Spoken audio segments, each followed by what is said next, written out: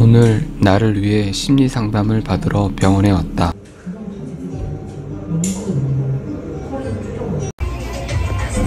병원에 갔다 오면서 마트에 들려서 단백질바 한 개랑 양념 돼지고기 한 팩과 비타 500 한 캔을 사왔다.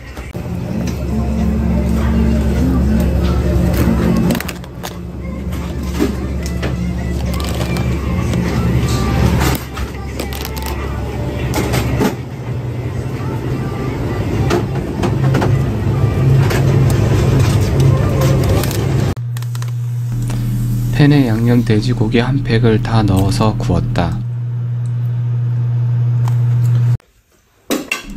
병원에 다녀오다 보니 늦은 점심을 먹게 되었다.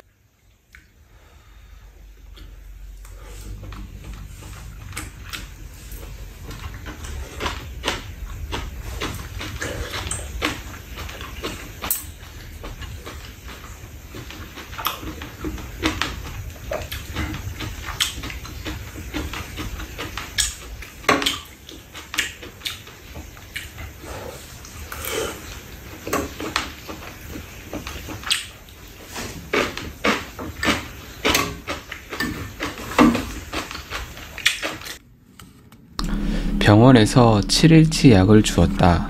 그리고 설문지 500개 넘는 문항을 작성하라고 한다. 참 오랜만에 설문지 작성을 해보는 것 같다. 공부를 저렇게 열심히 했으면 서울대에 갔을 텐데 그런 생각이 들었다. 네, 오늘 하루도 저 태양이 지면은 오늘 하루도 끝나네요, 여러분들. 아,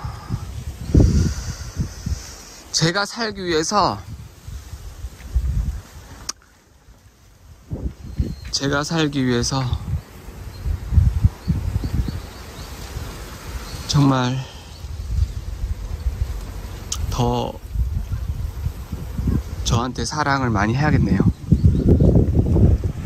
그게 것 같고, 그게 세상 이치 같아요. 음,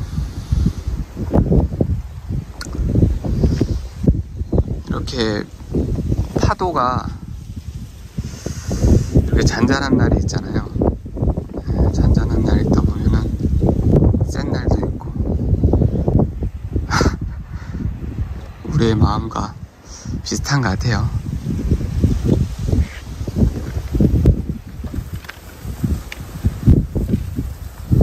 여러분들도 오늘 하루 진짜 고생 많으셨고, 진짜 수고 많으셨습니다. 에... 정말 여러분들의 인생은 제가 응원하겠습니다. 항상 건강하시고 마음 편안하게 행복하시길 제가 이 머나먼 제주에서 빌겠습니다. 감사합니다. 예, 저 태양이 지면은 오늘 하루도 마무리가 되겠네요. 음, 다들 행복한 저녁 되세요. 감사합니다. 안녕. 안녕.